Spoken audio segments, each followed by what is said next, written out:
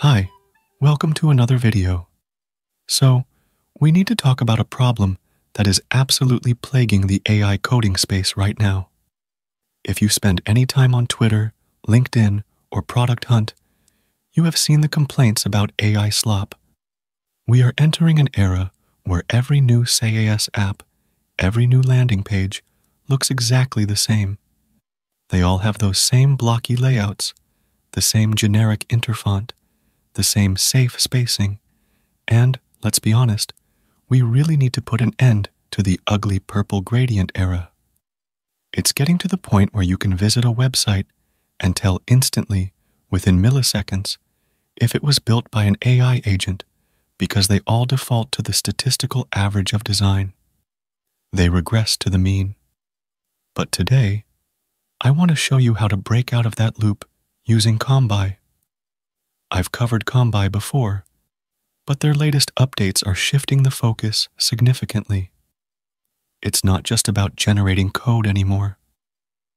It's about having the ability to steer the agents towards unique, beautiful UI and giving the agent the capability to actually bring that unique vision to life without getting confused. It's the difference between accepting the default output, which is usually mediocre, and acting as a creative director who demands excellence. So, let me walk you through a detailed workflow to show you exactly how this works in action and how we can build something that actually stands out from the crowd. To start, I have a blank project in VS Code. I want to build a landing page for a high-end, brutalist style architecture firm. This is a design style that AI agents usually struggle with massively because it relies on strange negative space, overlapping elements, and bold typography, not the standard bootstrap or tailwind grids that the models have seen a billion times in their training data. First, I'm going to use the plan mode to get our bearings. In previous tools, or even earlier versions of this tool, you would just prompt, make a landing page, and pray. The AI would hallucinate a bunch of code, and you'd spend the next hour fixing the layout. But here, I'm going to type. Create a landing page with a massive screen-filling typography hero section, an offset image grid for projects that breaks the grid, and a stark black and white theme. No gradients. Now, watch this. Instead of just writing code immediately, Kombai enters plan mode. It generates a lo-fi mockup right here in the chat interface. This is crucial. I can see the wireframe. I can see that it understood offset grid and massive typography before it commits to a code structure. It outlines the component hierarchy, header, hero, project grid, footer. It gives me a visual plan before a single line of React is written. Let's say the wireframe looks a bit too standard. I can tell it right here. No, make the hero text larger and overlap the first image. It updates the plan. Once this lo-fi sketch matches my vision, I hit Approve. The agent then turns that lo-fi sketch into real, functional code. And because it planned it first, the layout structure, the divs, the flex boxes, the grids, is actually correct. It's not just a hallucination, it's an architectural blueprint. But now we have the structure. Let's make it look unique we need to get away from the standard UI library look. This is where we use the resource library. I don't want a generic carousel. I want something that feels premium and fluid. I click the Resource Library button in the plugin.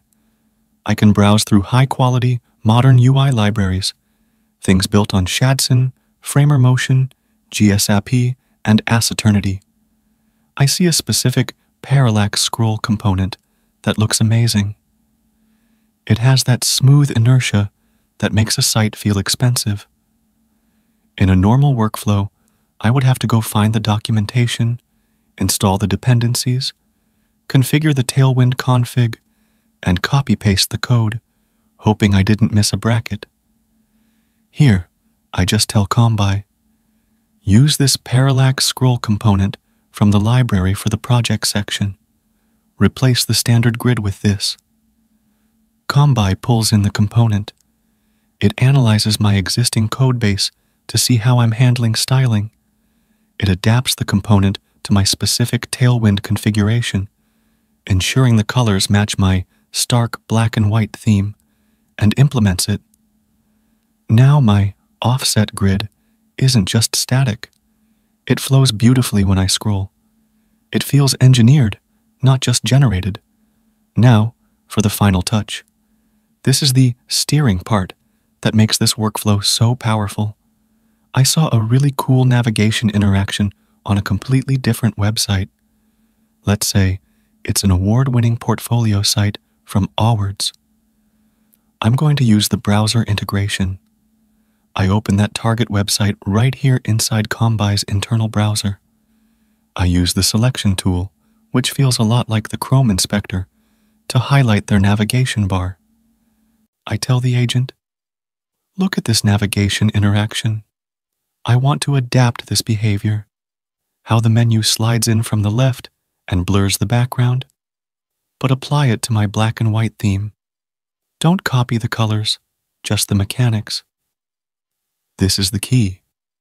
I am not asking the AI to be creative from a vacuum, which results in purple gradients.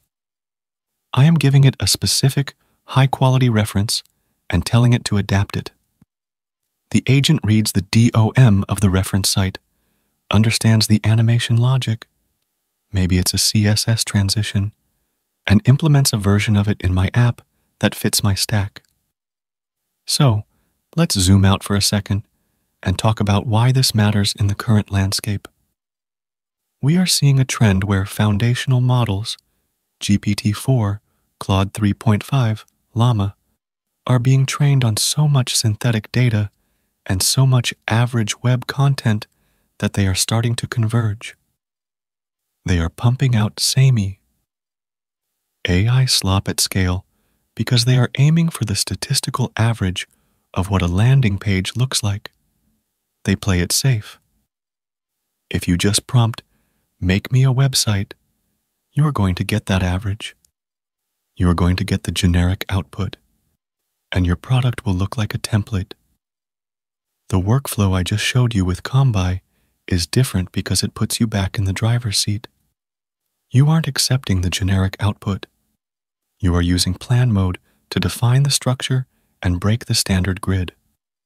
You are using the resource library to inject high quality, complex components that the model wouldn't generate on its own. You are using the browser to steal or borrow great interactions from the best designers on the web. You are acting as the architect or the creative director, and Kombai is the highly skilled builder that is capable enough to follow your specific unique instructions without reverting to the mean. This is how we move past the era of generic AI wrappers and start building things that actually look and feel human crafted, unique, and valuable. You can utilize Kombai's unique front end skills, powerful browser use, and a dev like understanding of designs and code bases to build the most complex and beautiful user experiences. Overall, it's pretty cool. Anyway, share your thoughts below and subscribe to the channel. You can also donate via Super Thanks option or join the channel as well and get some perks. I'll see you in the next video. Bye.